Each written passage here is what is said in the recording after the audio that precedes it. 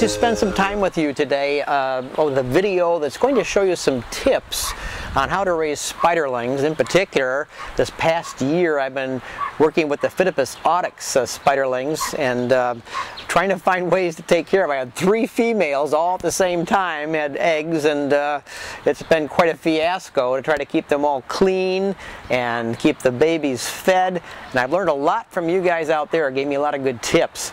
And also, um, I picked up some tips along the way too, just out of necessity. I'm going to share some of those tips that I've learned that uh, you might want to use if you ever have some uh, spiderlings, uh, some slings of your own you're trying to raise. Maybe you've never done this before, like I had, hadn't done, and maybe you can pick up some good tips. So I'm going to show you some of the things I've done. And uh, let me, before we start, though, I want to show you my shirt here that my son got me. Uh, I know I'm getting older, but this is ridiculous. Look what he gave me here. This shirt here. Uh, look what it says on the back of the shirt.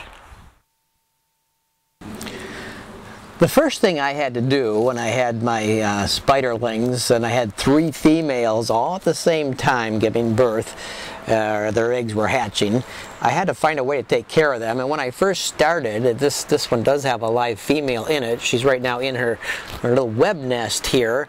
But um, uh, it's hard to keep them in these. Once the little spiderlings uh, or the slings begin to develop and get bigger, they come out of the nest and they're all over the jar and it's very difficult to try to get food in um, and without having them escape out. So what I did was uh, I went to uh, our local Walmart store here in the United States and I purchased uh, out of their pharmacy department something called a seven day pill planner and uh, what it is is that it only costs $6.24 and what it is, it's designed, it has four rows of being able to uh, put your pills in here, uh, which contains, let's see, it's one, two, three, four, five, six, seven times 4. There's 28 little containers. Each container, you push the little purple tab here and it pops open. You can take your pill out. Well, in this case, I'm using this to hold these little spiderlings, at least the ones that uh, I'm growing and, and uh, taking care of. And then you just close that down and, and it snaps back down. So uh, I'm going to show you what I did or how I put these spiderlings in and explain why I thought this was a really good thing to do at least in trying to separate them out and take care of them as they grow. You can see I've already uh, put some of these uh, spiderlings inside these pill cases here. Uh, once in a while you'll see one roaming around like in that box there. And um, what I find very interesting about this is that it's it's easy to keep them clean and to feed them. And here's why. I'll transfer some of my spiders that I've spiderlings I haven't put in here yet, and you can see, see how easy this works. So what I do I get myself uh, one of the containers and we'll open up this first one here, marked Sunday bedtime. We'll open up that little container and then I take my uh, jar of my spiderlings here and I'm just going to fish one of these babies out of here. And I got the spiderling on the stick, which you can see. And I'm just going to transfer it into the container here. There we go. Get that one down in there and then all you have to do is snap the little lid closed and that's locked right in there. Then you just proceed to the next one. Pop that little baby open. Find yourself another sling. Here's one. Anxious to come out right here on top of my jar. And let's see. Oh, he's a fast one. Let's see if we can get this one to cooperate a little bit. On the stick. And get this one transferred right in there. Just as easy as cake. And snap that one down. Number two, etc. So you continue on until you get to all your your uh, case is loaded there. You saw me messing around with a little stick here, which I've uh, I use quite often. And here here's a little tip I'll share with you that I found to be very helpful.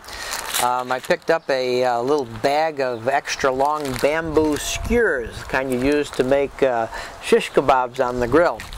And uh, I find these to be, they come to a nice point on the end and I find they're very helpful when you have to take uh, one of your jars uh, with your spiderlings in and your female and it gets full of crud.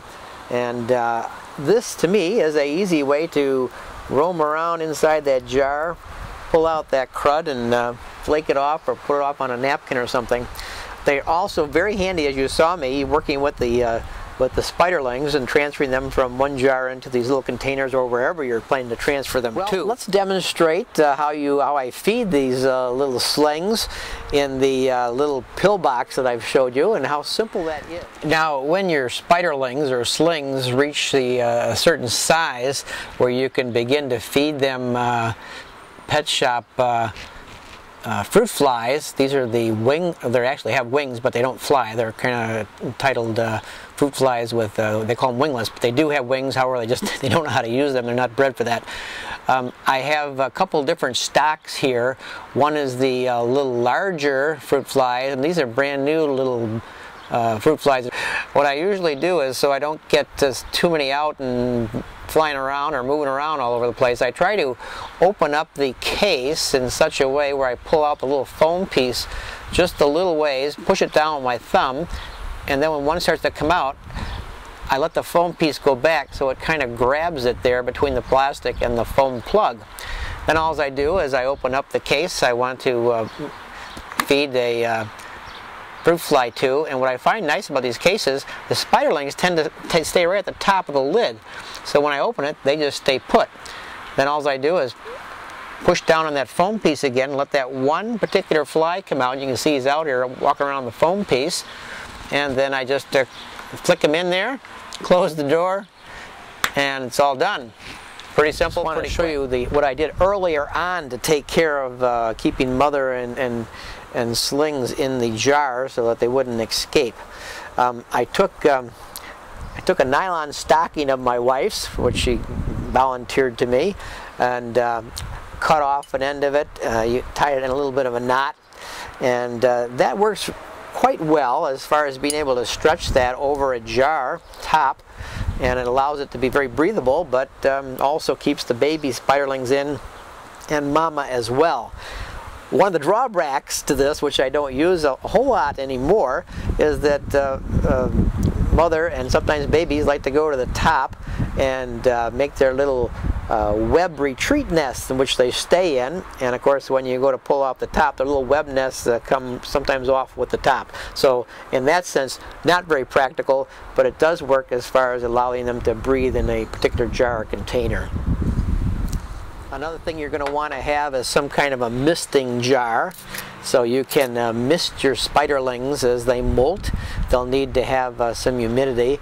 Sometimes I've used little pieces of sponge, but uh, those tend to get full of bacteria and uh, uh, hard to keep them clean and, and and uh, free of bacteria. So a little spray in the bottle once in a while with a little mist seems to go very well for their molting process. Now there's one thing I have used that's been very helpful. A friend of mine on YouTube suggested a pooper. I didn't know what that was. It sounded kind of strange.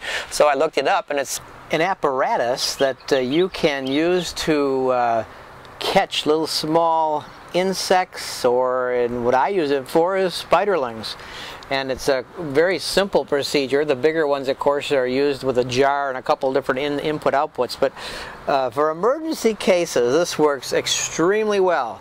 It's just a plastic soda straw, and on the end of it, we stretched um, some of this nylon stocking material over the end, pulled it nice and taut, and then put tape around it to hold it in place on the end of the straw.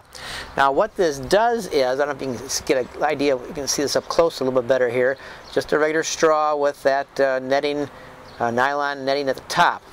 Now it, it has spared me spider control, spiderling control many times because when I try to get into a jar that's got a lot of spiderlings in to put some food in, uh, you know, I get some food in, about five or six of them try to escape out.